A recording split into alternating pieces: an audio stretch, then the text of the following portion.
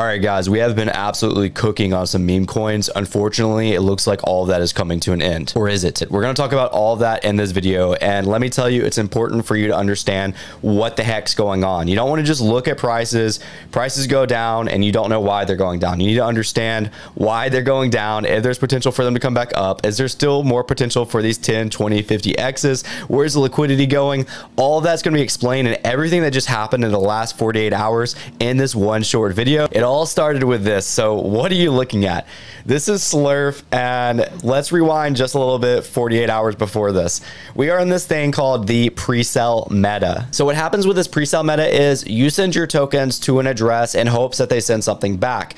It can be good in some situations when projects are trying to launch. You get in early, you get in at a small market cap because let's say it's capped at 5 million uh, pre-sale. You send your tokens in, you're part of that 5 million. Then the token goes up to 100 million. Well, look at you. You just hit a, you know, a, a big win.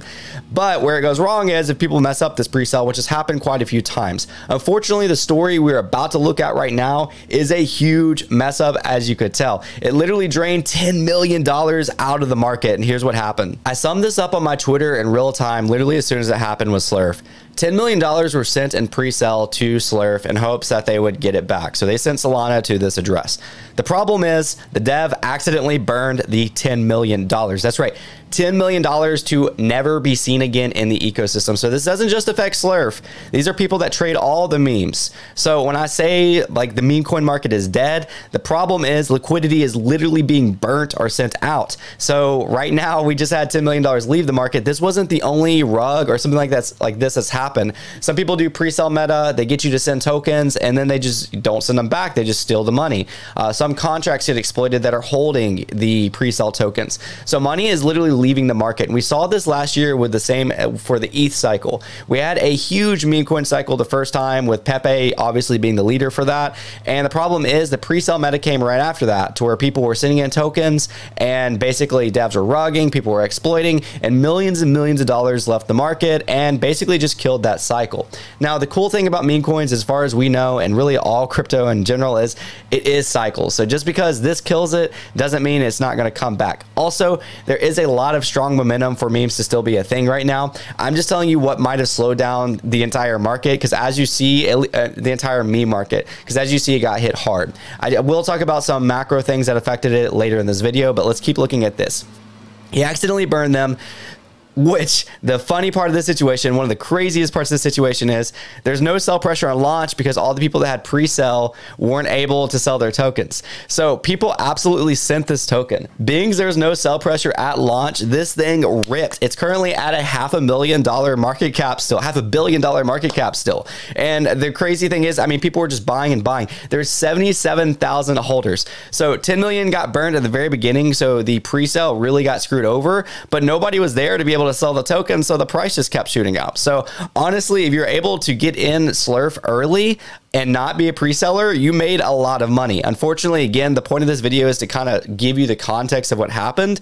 And essentially millions and millions of dollars were just burnt into thin air. Not even 12 hours before this, your boy got burnt too. Thankfully, I never recommended this to anybody. And quite frankly, this is part of the reason why I don't talk about literally everything that I'm doing because I don't want people to get hurt because it's high risk, high reward.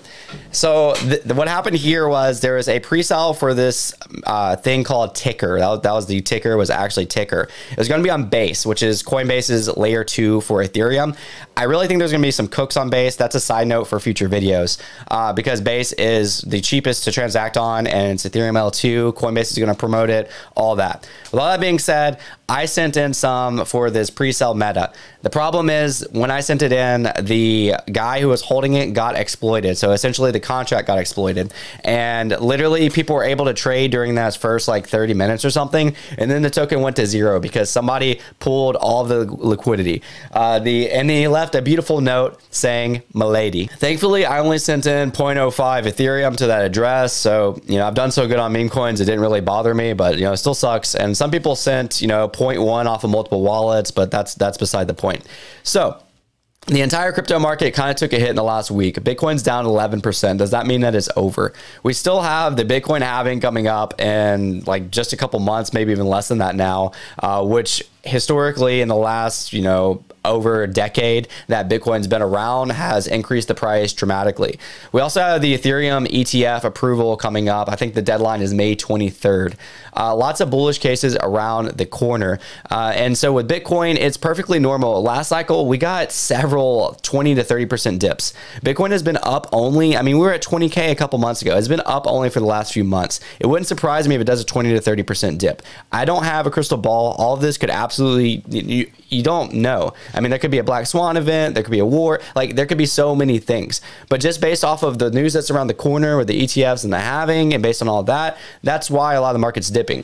We saw yesterday that the inflows to Bitcoin from institutional money was much significantly lower than it has been in the last few weeks. So less institutional money falling in, the more sell pressure you get, and you see a dip like this. There's a lot of other news besides that, but I know what you're thinking. I clicked on this video because of memes.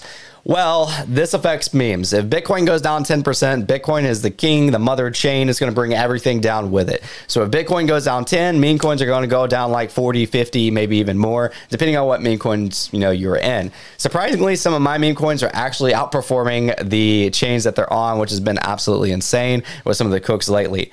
So if Bitcoin bounces back, uh, this pre-sale meta, it really just depends. There's so many pre-sales going on right now. A lot of them either are being exploited or the devs aren't, you know, making the contracts correctly or people are just rugging.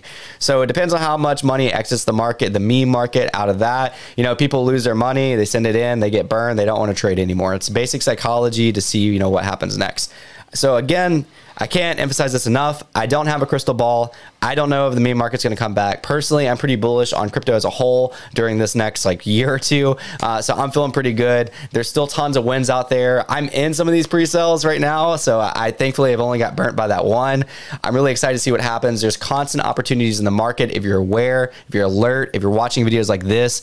I definitely, you know, at your own risk, high risk, high reward, recommend at least looking into them. I'll constantly be posting video updates, always posting on Twitter, doing some more Instagram reels, YouTube shorts. So be sure to be following me on whatever social media you're on. If you like videos like this that are just market updates and what's going on, be sure to like it. If you made this far in the video, leave a comment down below and I'll see you guys next time.